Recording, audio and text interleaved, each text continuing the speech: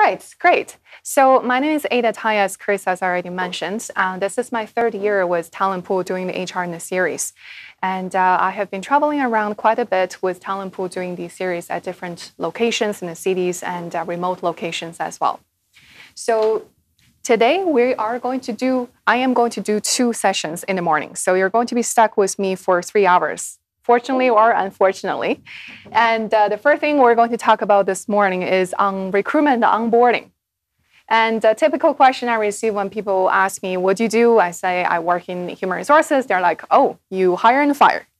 And I say, Yes, that's typically a thing we do in HR, but that's not all about it. So, by show of hands, how many of you have hired people before? Excellent. And how many of you would say that you've made 100% correct choice every single time. That's exactly how I feel too. Um, I have, with my 10 years of experience working in human resources, I have interviewed probably close to 250 people. I say that with experience, I do get better, but still sometimes it can feel like a gambling game that uh, hiring people can feel like a hit and miss sometimes. But with experience, with careful planning and thought process, we can get better with it. So with today's this morning's first session on recruitment onboarding, really want to uh, instill the mindset of planning, the thoughtful planning process when it comes to recruitment and selection on onboarding. We're asking two questions or answering two questions this morning about recruitment and onboarding. Number one is why? Why do we need to hire? Can't we just do it all by ourselves? Of course we can. And number two question or answer is about how. How are we going to do it so we have an effective process and a efficient results? So this is a little bit about me. Thanks, Chris didn't want to do an introduction of me, so I'm going to do it myself my way. Um, so I work. I have been working in the field of human resources for the past 10 years, and I have my uh, MBA degree from the University of Alberta and also my CPHR designation used to be called CHRP. Now it's the CPHR, uh, as well as the Charter Manager designation as well. And uh, two and a half years ago, I started my own HR consulting business. So I focus on helping organizations with HR issues, uh, training facilitation, as well as coaching job seekers. And I also teach at University of Alberta, MacEwan University, and Metro Continuing Education as a part-time instructor in Edmonton. And that's a picture of me presenting at NATE. Um, often I'm re- uh, requested to speak on HR, networking, and uh, business management topics throughout the province. And uh, I am a millennial, uh, believe it or not. And uh, I believe in working in business and also in HR, that being a millennial, being the younger generation, it's also about being pragmatic. We don't like politics, we don't like the fluff. Let's get straight to the point. So, what can we do more but with less resources, which reflects the economy today the way it is. So that's a little bit about me, and I got to walk around, talk to everybody, so I got to know you as well. So thank you for sharing your experience and knowledge with me. Um, and this is my way, experience teaching in university. I always ask the students hard questions before I share more knowledge. So the next couple of minutes, if you can, with your partners at your table, uh, discuss these questions. So first of all, how would you rate your organization's recruitment practice on a scale between 1 and 10, 10 being the highest. The second question is what are the top two challenges that your organization face in talent attraction? And the third question is what would be the two contributing factors to those challenges? So let's do seven minutes. All right, back to me. So, is there any volunteer who like, or first of all, let me ask the first question. Just by showing me your fingers, how would you rate your organization's hiring practice on a scale between 1 and 10?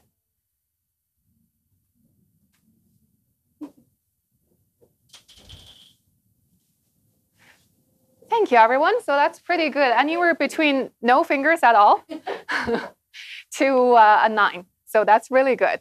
So it's very diverse, which is very typical going around um, doing the HR in the Box series that we've ta- I've talked to organizations, and that's exactly what I'd expected.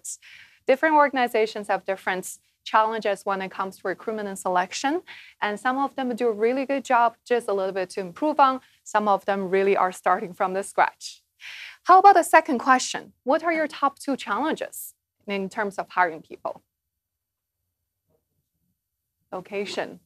And I see everybody's nodding. Okay, that's good to know. What will be the other challenge? pay compensation. Okay. All right, so that's good to know. And what about the top two contributing factors to those challenges? Depends on what's happening local economy. Yes. If uh, the oil and gas is thriving. Yeah. The talent pool is not as good for our, because it's money, right? Exactly. Yeah, it's totally understandable. And uh, again, so in HR, we're now solving the world's problem. We're now saying that we have a beautiful program, we're going to implement it, and tomorrow, tomorrow all the problems are going to be solved. In HR, we're not like that. In human resources, we try to help managements and guide them with best practices and effective, uh, effectively implement the programs and test it along the way. And we also adjust and monitor due to different times in economy, as well as the situations the organizations are going through, the different phases. So, as I mentioned, when it comes to effective recruitment and onboarding process, it's really about the planning piece. The planning comes into two phases. Number one is the why, number two is the how. So let's first ask ourselves before we have a vacant position, and many times I've heard managers telling me, oh, when we have a vacant position, let's just jump on it and hire a replacement. Without asking why the previous person has left. And now knowing why the new hire didn't last very long. Right? And also the organization is constantly changing just because an economy is changing just because we have vacant position, it doesn't mean we need to backfill it immediately the way how it was set up in the past right? So before we do an effective recruitment, we always ask ourselves the planning question, the why. So it could be growth, that the company is doing really well, so we're growing, we need more talents. It could be that we now we're growing a different direction. Diversifying the economy, diversifying the products and services we're offering, now we just need different uh, people with different backgrounds, different skill sets. It could also be the natural attrition, you know, the retirement, the resignations, the, the death, the leave of absences, or it could be just that uh, the terminations happen sometimes, either as layoff or um, uh, unwillingly being pushed out of the organizations, which sometimes happen too. And I often joke with the managers as saying that terminations will happen if you're a manager. It's not a matter of if, it's only a matter of when for you to complete your managerial uh, career cycle. And yeah.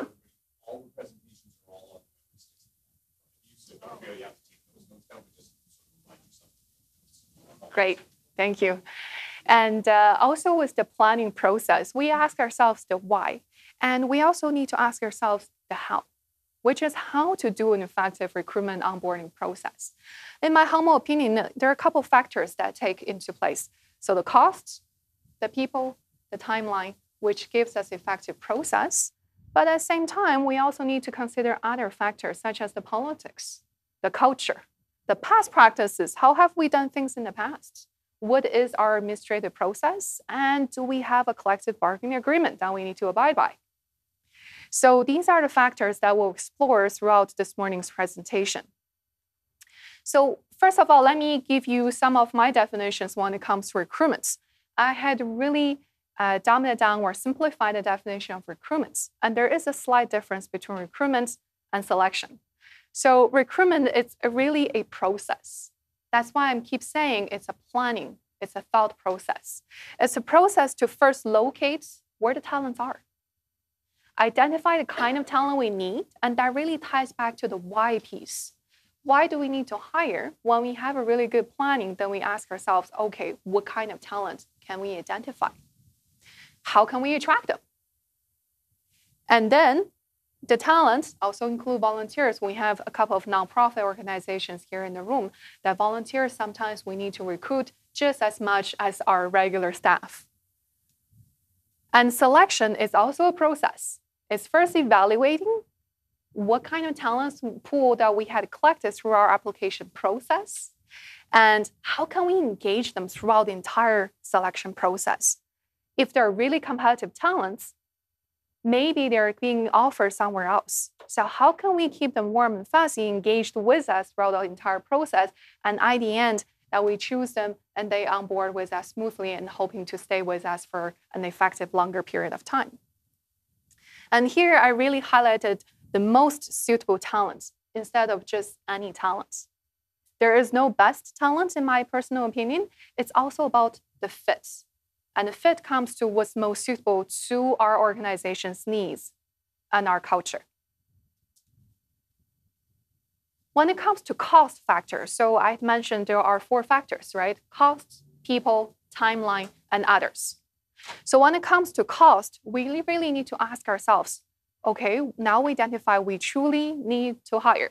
We ask the why question, we identify we truly need to hire. Let's think about how much money we have. How much money do we have in our budgets, right? Sometimes some organizations, their budgets are managed by HR. Some organizations, the recruitment dollars are managed by the line managers or senior managers of the area, if you will. According to a 2016 um, a survey in, done by the United States, the um, uh, Society of Human Resources Management, which is the counterpart of CPHR here in Canada, um, their research shows that the average cost for a professional level of position being hired is just over 4,000 US dollars. So that's 2016 figures. That figure has gone up these, uh, these days and takes 42 days, so which is a month and a half, right? So six weeks. And that's just to fill a position in the frontline or professional level position. We're now counting the extreme, which is the senior level, the VPs or, or the CEOs. Those will take a lot longer and will be a lot more costly to recruit for. When we ask ourselves, okay, how much budget do we have? We also need to factor into the cost. The advertisement cost where you put on Monster, LinkedIn, Eluta, Kijiji sometimes even, or ask people for referrals and you pay referral bonus. All of these would be part of the advertisement costs. And that's the most obvious. I often seen company managers or HR report their recruitment costs. They typically would just report the advertisement costs because it's quantifiable. It's the most obvious. But let's not forget, behind the scenes, there are a whole bunch of other factors that we need to cost into, take into consideration, such as the HR's and hiring manager's time.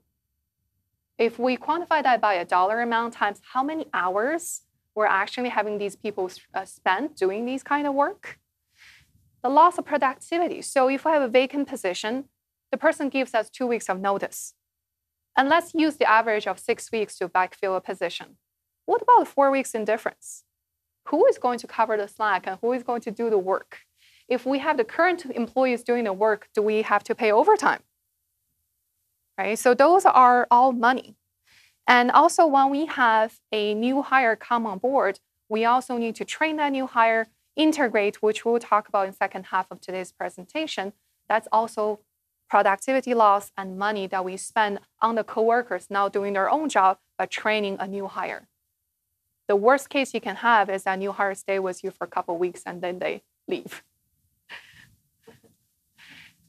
So the steps to hire, and again, I have really simplified the steps into four essential steps. Plan and prepare, post and shortlist, interview and background check, and offer on onboards.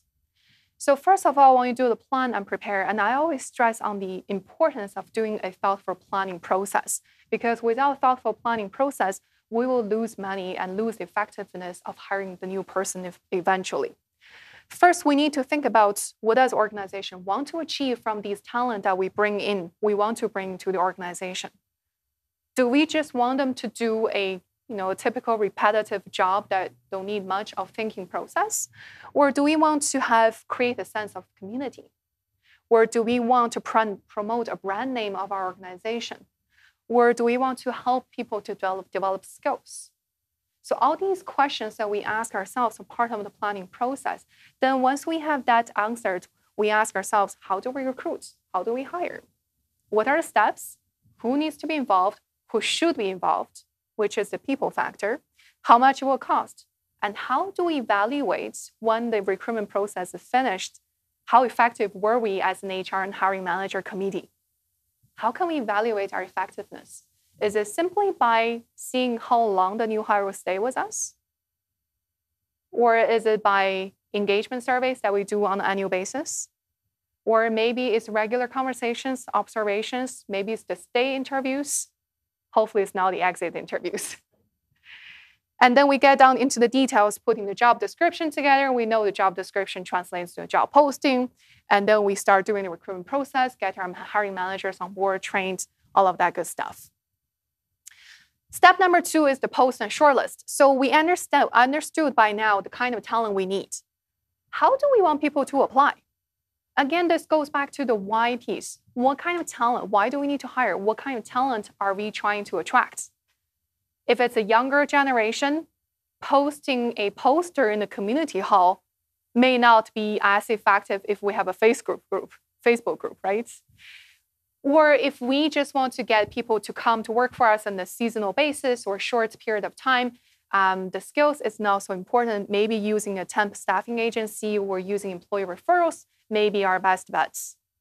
So really in our posting, we need to be specific in how people can apply and really ask ourselves where should we post these advertisements? And don't get me wrong, the job posting is truly an advertisement. It's a promotion. It's no different than us selling our secondhand car on Kijiji. We can't just leave a couple sentences and hoping people come and knock on door saying, here, $10,000, even though you asked for 8,000, right? So it's really about how can we make the posting attractive? Because we are in a we're engaging a diverse talent pool. So how can we make it attractive that people want to come to work for us? We spend least amount of effort in recruitment but most qualified people come to knock on our door. I always joke about that recruitment process is like a speed dating process. When you have the job description it's really looking at our, ourselves and thinking okay this is me as a person. Think about how i look what kind of quality of, of partner i'm looking for put that into attractive ad, which is the job posting, then go through the shortlist process. Not everybody message me that I'll go out for dinner with, right? And then the dinner will be your interview process, which is the speed dating process. And then the onboarding probation will be your cohabitation phase. and I always joke about that. Um, if this relationship doesn't work out, well, fire, right? Before the probation ends. So it's same as if you don't like the new partner you brought into the house, kick him out or her out before the kids had taken into place, right? So really prepare an eye-catching posting. It's about how can we attract the kind of talent we want. What kind of wordings do we use that's aligned with our organization's cultures and values? And what is really appealing to the talent pool that we are tapping into? How can we get the word out? What's the most effective methods? Use multiple methods. We can't just rely on posting on our website and thinking that lots of people would just apply, right? And also, how can we screen candidates, develop consistent criteria? We can't just say that we like this person other than that person because this person is five centimeters taller, right? So we have to use job-related, consistent, justifiable criteria to evaluate the candidates. The next step is the interview and background check. So we determine who and this is a people factor, who should be involved in the recruitment process. And I often talk to the hiring managers, ask them, how often do you hire? When was the last time you've hired someone? If they told me the last time they've hired someone was uh, more than a year ago, I always say, let's just have a quick 15 minutes chat before we go into the interview room. Let me prep you again with the recent updates of employment standards, what questions you can or cannot ask, how do we present ourselves professionally during the interview process? Because we are the ambassador of the organization. We are the first faces that the candidates see. And this day and age, the younger generation apply for a job. It's not that they're begging you for a job. In some circumstances, they may, because their parents told them so. But in most of the situations, you're evaluating them, they're also evaluating you you are the first faces they see of the organization. So if you, the HR people or the managers, don't represent organizations as a good ambassador, guess what the candidates will see, will understand. This is not where I want to work. And then your recruitment effort and dollars just went into the toilets because it's a waste, right? And guess what? The rumors do carry, they do travel really fast, especially in a smaller community. So I always talk to my hiring manager. So if you have an interview last year, let's have a quick prep, just 15 minutes. I'm not going to bore you too much with all the theories and processes. So just go through a couple of things, who, who is going to do what parts, What role are we playing? Good cop, bad cop? Who is going to be host? Who is offering the seat and chair and, and water, all that stuff. So we have that planning in our in our heads. And then we select the suit again suitable candidates. Doesn't mean they're the best top candidates, suitable for the current situation and the organization. And determine the kind of background checks that we need to go through to have these talents checked. So in the recruitment process, we're, when we assess the candidates, we're really answering three questions, or having three questions being answered. First of all, is candidate candidates do the job? Basically, do they have the technical knowledge, skills, abilities to do the job? The second question is, will they do the job? What's their motivation? Why do they want to come to work here? Do they just look for a paycheck because their mom told them so? they're being kicked out of the house if they don't find a job. Or they want to get a job because they were just terminated and they just need a job to fill in the gap to pay the bill. Or they really want to join you because your organization's values, cultures, and, and products and services attract them. It's alignment. And also, you offer that professional development opportunity for them so they can grow their career. And they have the skills, knowledge, and abilities, and the willingness and on top of that, will the candidate fit in? Again, this is where the suitable piece come into place. They could have the top 4.0 GPA out of 4.0. They could have the 10 years of experience when you're looking for five. But if their personality, if their behaviors do not align with your organization's cultures and values, they may not fit in. And at the end, if they don't fit in, we all know what's going to happen, right? So again, it's recruitment dollars and effort wasted. And do remember, we represent organizations that keep saying this all the time because when we make an offer, we also want to notify the unsuccessful candidates. And that's my pet peeve. I always train my hiring managers let the unsuccessful candidates know, thanks, but not this time. Simple as that. You can use a generic, you can use a, a customized template rejection letter. All it takes is just push a button to send email to the, to the unsuccessful candidates it's a courtesy. Treat the candidates how we want to be treated. Imagine you spend all the time and effort going to a recruitment process and you think that you are in the last stretch and you're so close, they hired your competitor. Okay, that's okay. I already broke my heart. But if I don't even receive a courtesy email or phone call, it's just leaving a really bad taste in my mouth. And guess what? I'm going to talk about it. And I talk about it, and the rumor started. It's so hard to build an organizational reputation, but it's very easy to destroy it. And also deliver a comprehensive orientation training program, which we'll talk about pretty soon, and give the employer volunteers their handbooks as part of the onboarding process. For those of you who are in the nonprofit business, the CEO of Chicago Cares explained that nonprofits who engage the volunteers are better um, as an organization. They manage better and they are more adaptable and capable of doing uh, going to the scale. So that's the hiring piece. And we all know that we don't want our new hire to leave us tomorrow, which I had seen situations like that happen. And uh, I had also seen candidates leave us or new hires leave us in the first couple weeks, month. And I think that's a recruitment error that we could have done better so they don't leave us that quickly. There must be something going on that we didn't know prior to they joining us or during the onboarding process. So it's important that we attract the best talent to our organization, but it's also important for us to retain the suitable talent with us and motivate them to do a good job. So let me ask you this question without looking into my slides. How, what will be the top factors for you to stay with an organization?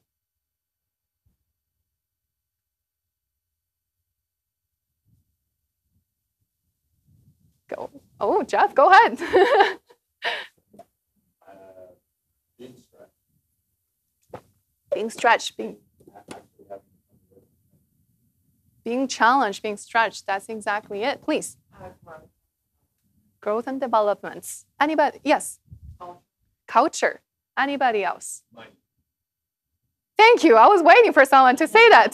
Yeah, that's great. And it's interesting when I teach at university and my students are typically in the third and fourth year HR program. So I asked them, let's do a survey. Write on a piece of paper, what are your top five values? Why do you want to get a job? Why do you want to stay with a job?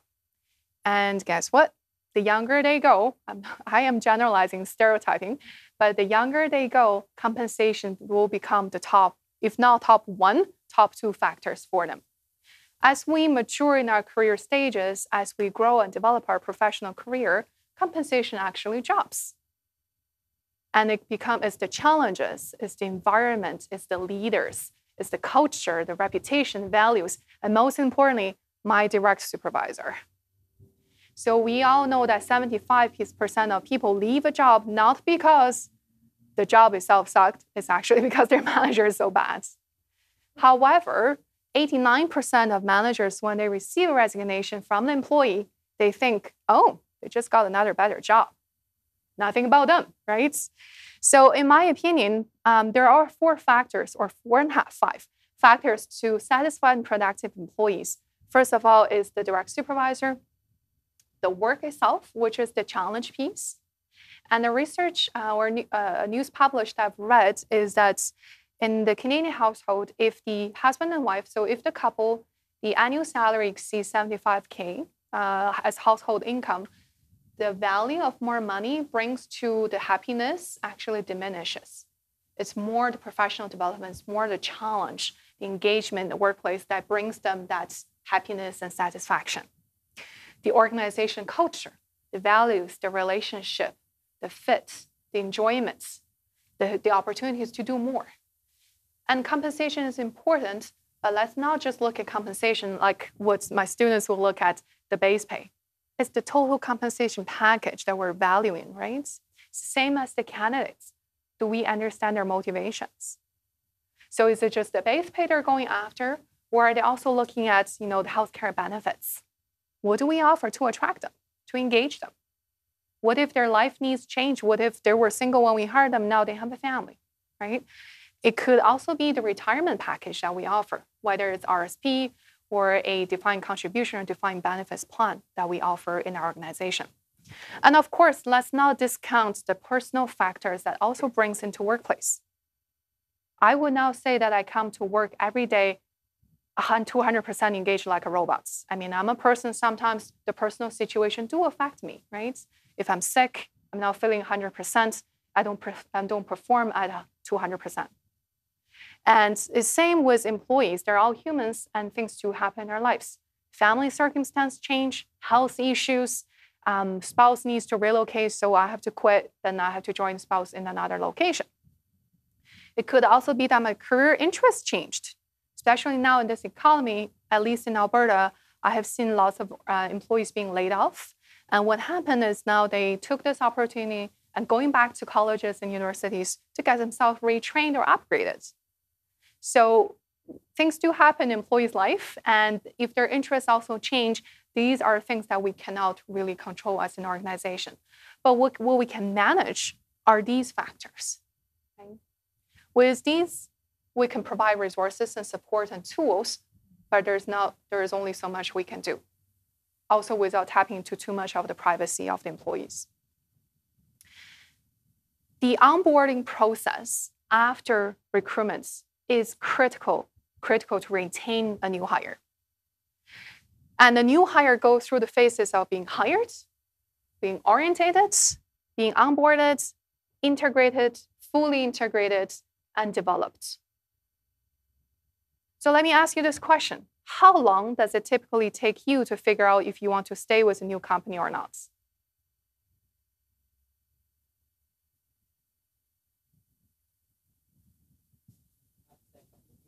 A couple weeks, yeah. Anybody? Yeah, yeah. Anybody say six months? Yeah, so typically 90% of people will decide if they want to stay or not within the first six months. So first six months is critical, critical for organizations to make sure they have regular dialogues with their new hire, so their recruitment effort and dollars don't go waste, and uh, also that they can maintain a really good environment for their new hires.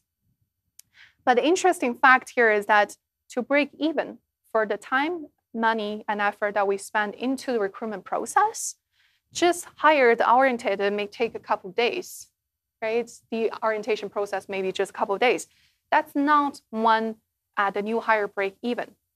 For a frontline position, you know, customer service representative or labor position or really frontline clerk, those uh, frontline positions, they take about three to six months, sorry, a month and a half to three months to break even. So just to break even for frontline positions. But for mid-level positions, professionals like ourselves in this room, takes about on average six months to break even. And again, that 90% of people decide if they want to stay with an organization or not in the first six months. However, only 15% of organizations will extend their effort beyond the first six months to retain and onboard, uh, continue onboard, integrate their new hires. So such a huge gap there. For senior level, the, again, the VPs and CEO positions, it takes anywhere between a year to two years to break even. So if the CEO or, or the VPs leaves us in a year or so, we haven't got our benefits back at all from the new hire. So this is where it all starts from the moment we shake hand with our new hire saying, welcome aboard. Now you got your offer. I have to reject a whole bunch of others. Congratulations. This is where the relationship starts. But let me ask you this question. How many organizations here have a great communication between the day they sign the offer with the new hire to the day the new hire actually starts with them. That's great. So, what kind of communication do you have with your new hire?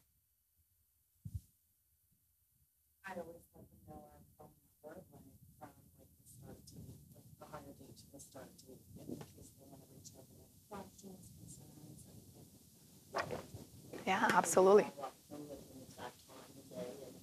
let them know our phone number when from like the start date, like the hire date to the start date, in case they want to reach out with any questions, concerns, anything. Yeah. Yeah, yeah, yeah. Go ahead. Um, after the employee decides they want to come with the company, I set up a signing meeting with them, so they come in and see me and we go through the offer. Excellent. Contract there, and then you hire paperwork, get uh, everything set up, the payroll and that. Oh wow, that's excellent. and the dress code and that, that's Right. Yeah, because we all know sometimes it can take weeks, even months, for a new hire to start after the, the day they signed the offer letter, right? Personal situations, I need to take a vacation, my mom is sick, or I need to give resignation. Um, I want to do more than just the typical two weeks because I've been there for a long time, yada, yada, yada. So many things could happen. And that longer period, the longer we wait for a new hire to start, more changes could have happened during that process.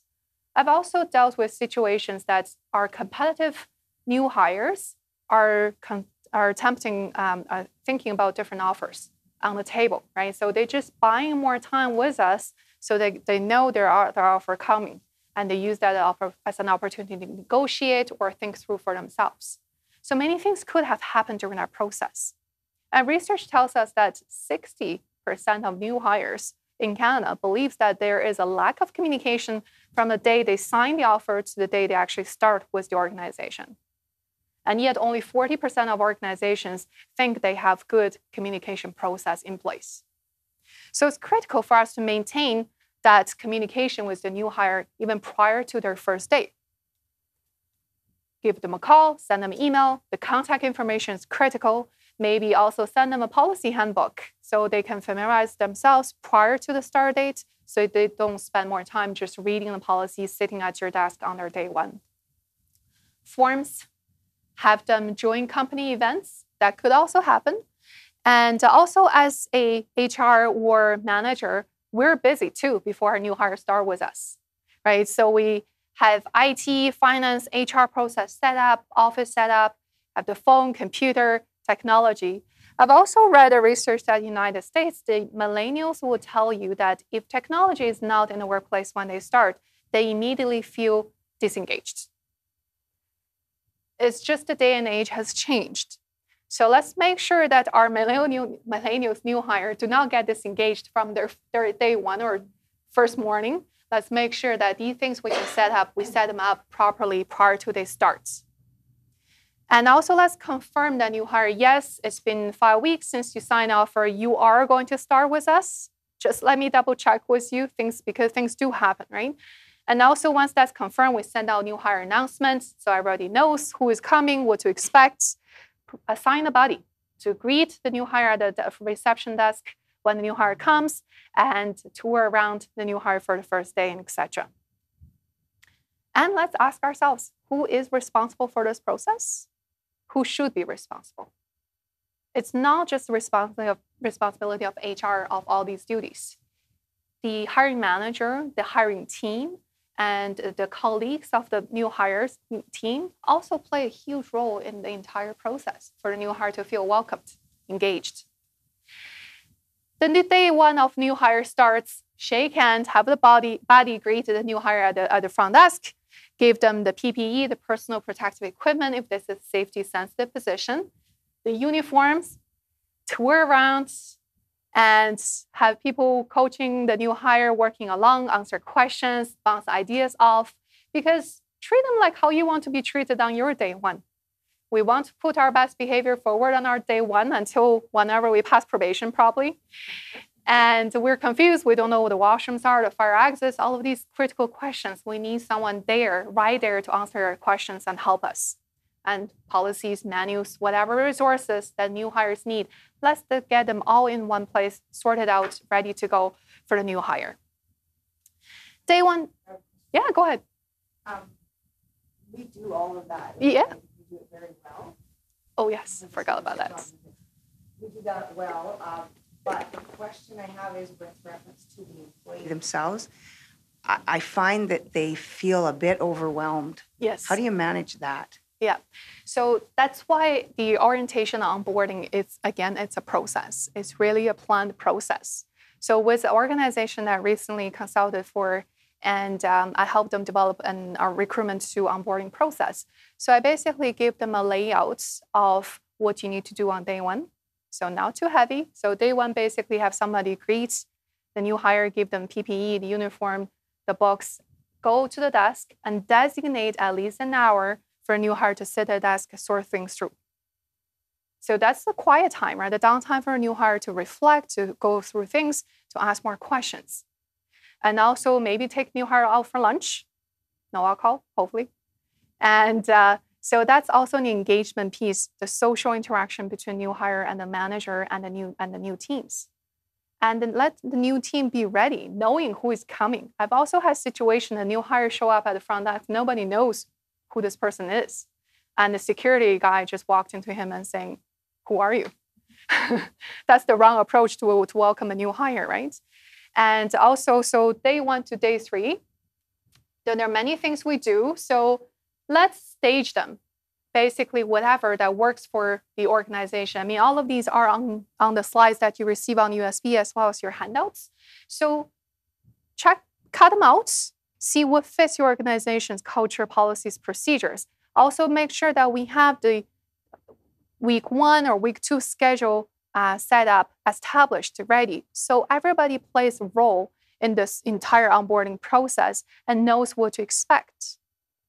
So if the hiring manager knows that I am the critical person, I'm going to spend lots of time with my new hire, let me just block my calendar for the first however many days or weeks. So I spend quality time with my new hire.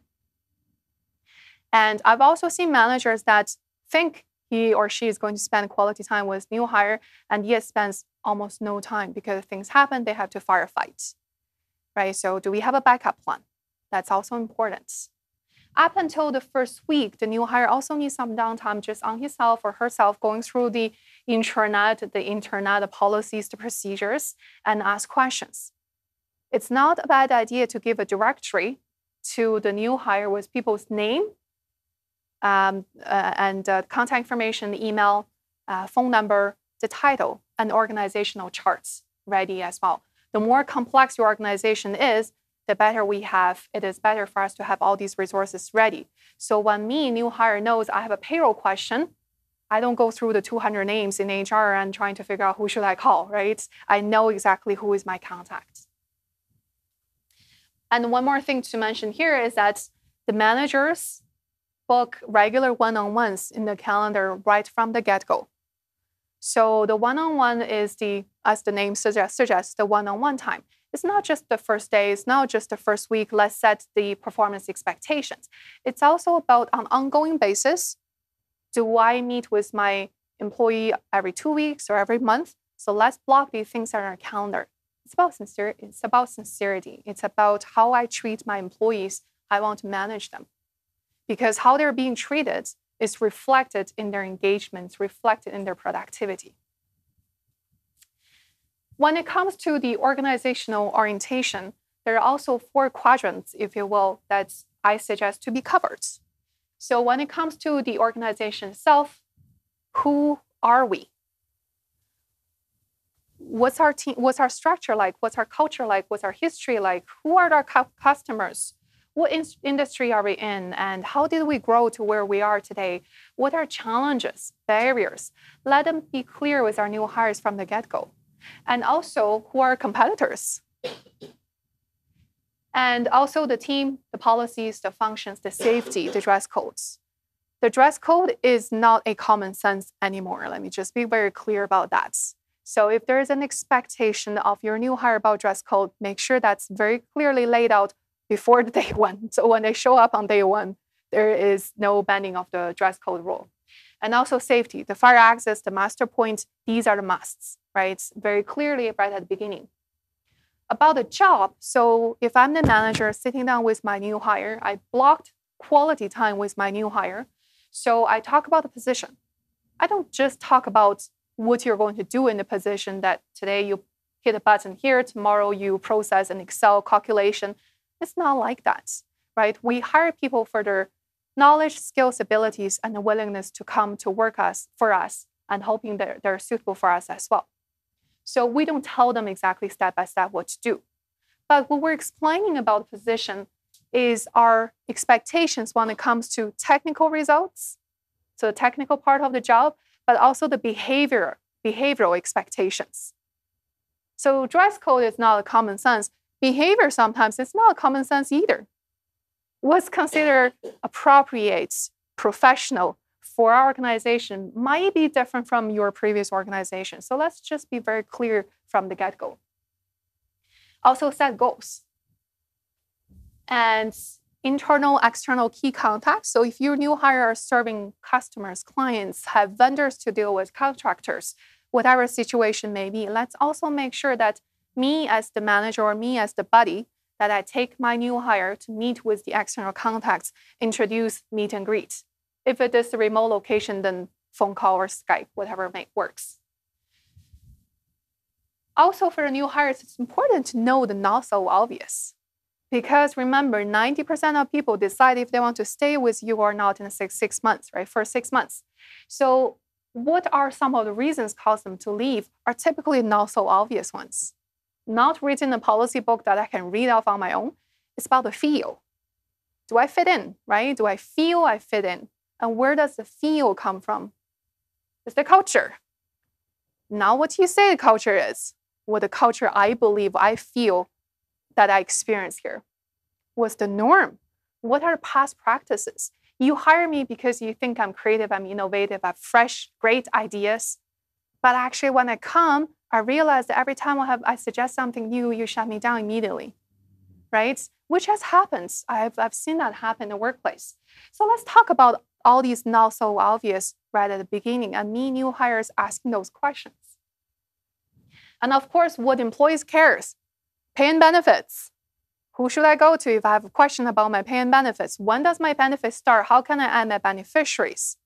Are you going to match my RSP just 1% higher, or how can I get more, for example? How flexible is the workplace? The hours are flexible, the culture is flexible, or do I have to be at my physical desk Monday through Friday, 9 to 5 ish? Right? And what about managers' managerial style? And that's also very important to be communicated with the new hire right from the beginning.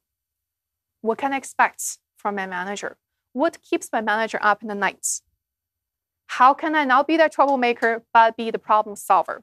What kind of problems can I help you solve? Right. So the manager, we need to be frank about those as well. So our new hires have a clear understanding what to what they're jumping into and how they can become effective very soon. What's the best communication methods here? Is it in person, over email, over phone, over Skype, or text messages, or maybe even the messenger chats? and who do I talk to if I have questions and where can I find information. The first one to three months is also critical. So the new hire goes through more training and get familiarized with the team, going out for lunches, going through more formal training, informal training. They feel on the surface, they look excited, they want to show they're excited, they're engaged, but really underneath, they feel overwhelmed. They're like, oh, I'm so tired after I go home every night. And I feel that myself too once I join a new organization. The first couple of months when the evenings when I go home, I just don't have energy anymore because I give 200% of energy during the day to put my best behavior forward, hoping that I can stay here.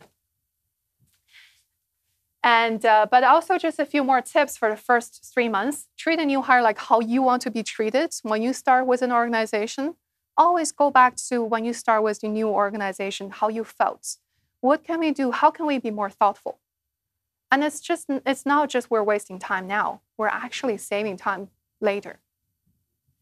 And how can we continuously communicate, observe the barriers, the challenges, the behaviors of our new hire? And we have regular check ins. We do stay interviews. So, stay interviews can be a survey that's sent out by HR, hoping the employees will fill out as comprehensive as possible, right? It could be a conversation. It could be a water cooler chat, just, hey, how are things going? A marketing company in Edmonton, which I found was fascinating by doing this, is every week they send out a SurveyMonkey to their other employees asking three questions. How was your week? The first question. Second question, what are challenges? Third question, what can leaders do better to help you this week? So they send out a survey with these three questions every week just to find out what we call stay interview, find out how the employees truly feel, how they're truly doing. And if there are barriers and challenges, let's remove them from the get go.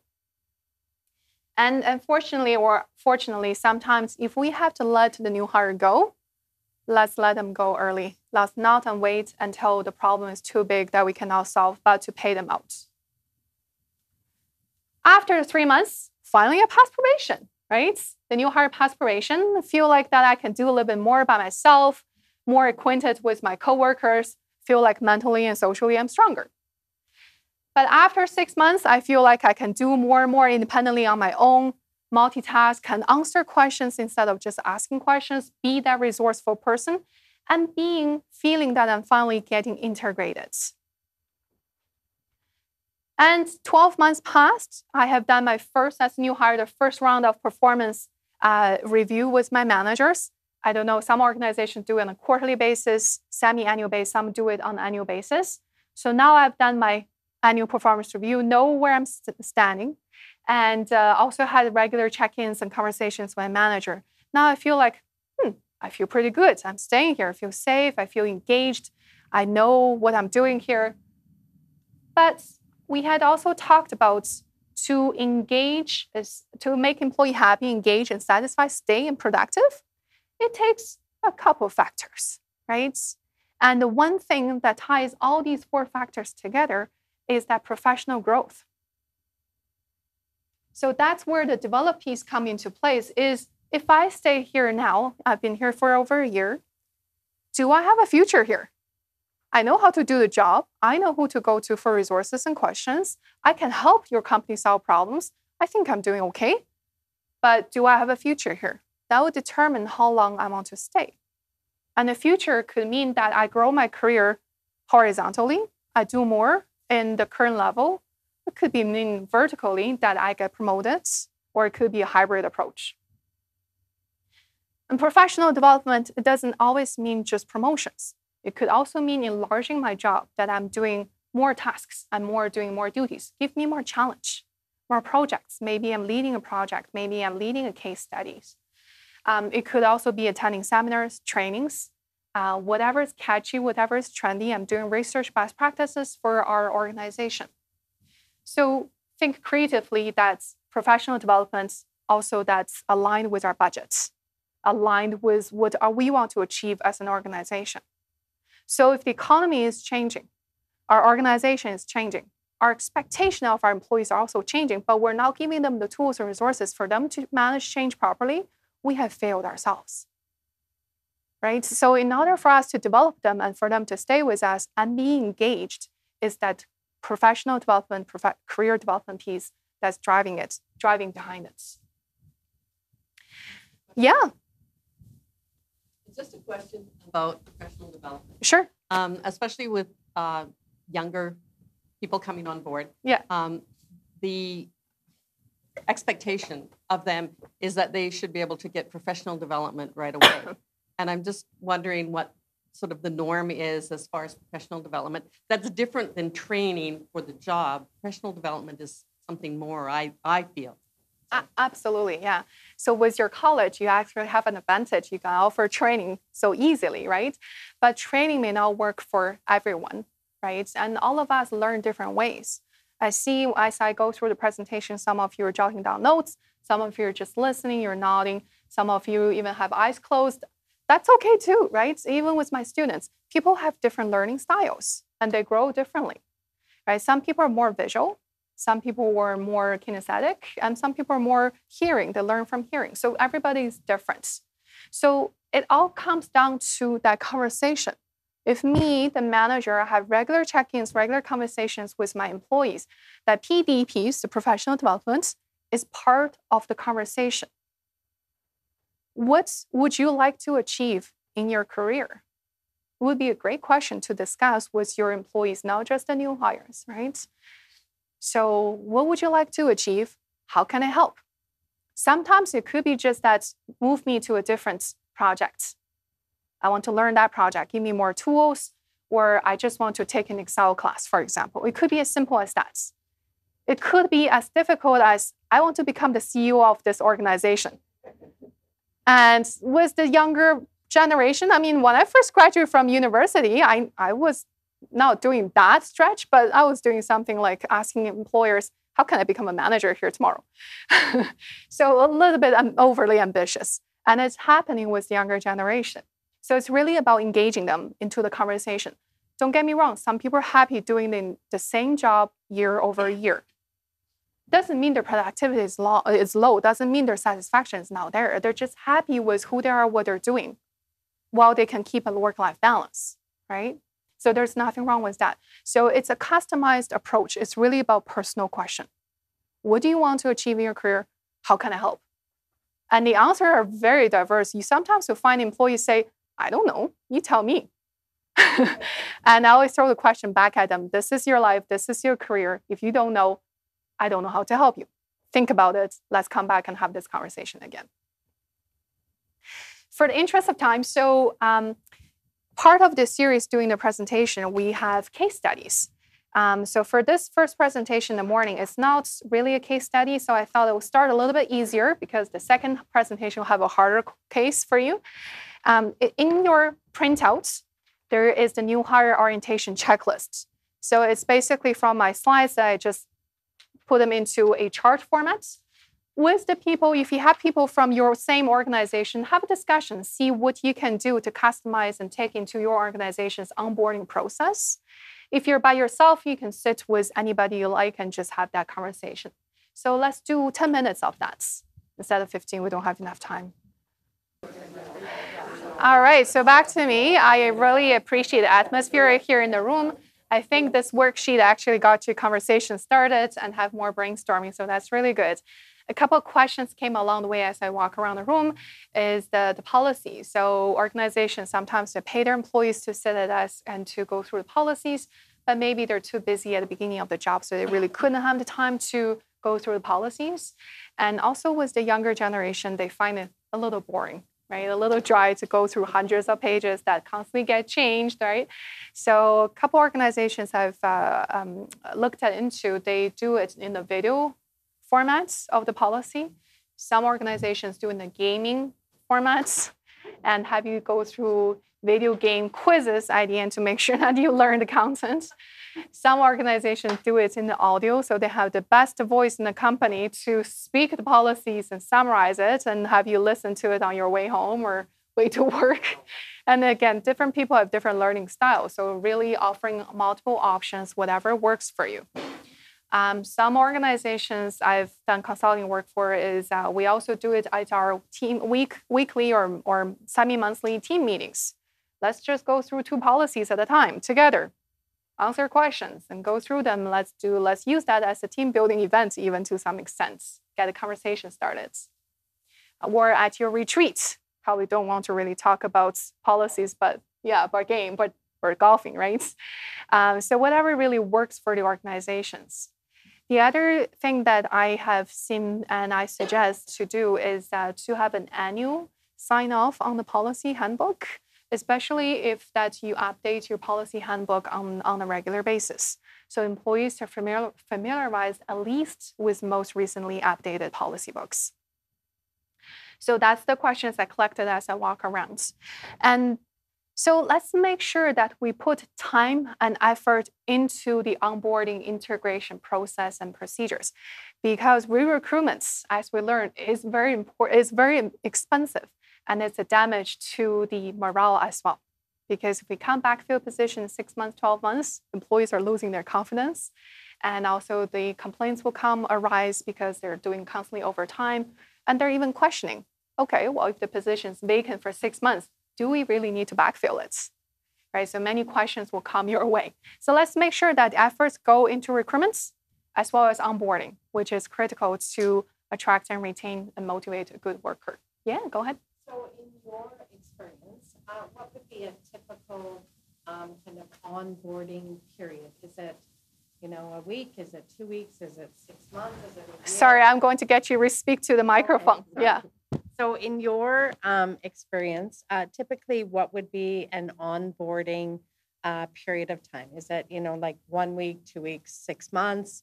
What's the typical onboarding kind of length of time? Yeah, so it really depends on the organization, how complex the organization is, how many structures, layers, policies, procedures you have. The more you got these, the longer it will just take for an average person to get, get acquainted, get familiarized with all the materials and, and requirements. From a psychological perspective, we've talked about that break even. Uh, from a financial perspective, we talk about that break even point, right? The one and a half to three months for frontline, six months for middle professional level positions, and a year to two years for senior executive positions. That's financial dollars. Psychologically, it really depends on the person. We could do as much as we could in our effort to make sure that we've covered everything, being thoughtful, giving them tools and resources. But at the end of the day, it's that employees mentally do I want to be onboarded? Do I want to be integrated? Do I feel I fit in? And the fit piece, again, goes back to the planning of the recruitment process. What's the motivation? Why do you want to work here? And then how can I help to develop you, to help you to grow your career? And also, it's the ongoing dialogue. So even if I have been with an organization for five years, it doesn't mean that I'm not new here anymore. If I change a position, if I get promoted or uh, relocated, redeployed, I need to be reboarded again, right? And also maybe circumstance changing in my life that I went on a parental leave, come back, I may need to be reintegrated again. so it really depends on the situation. Any other questions?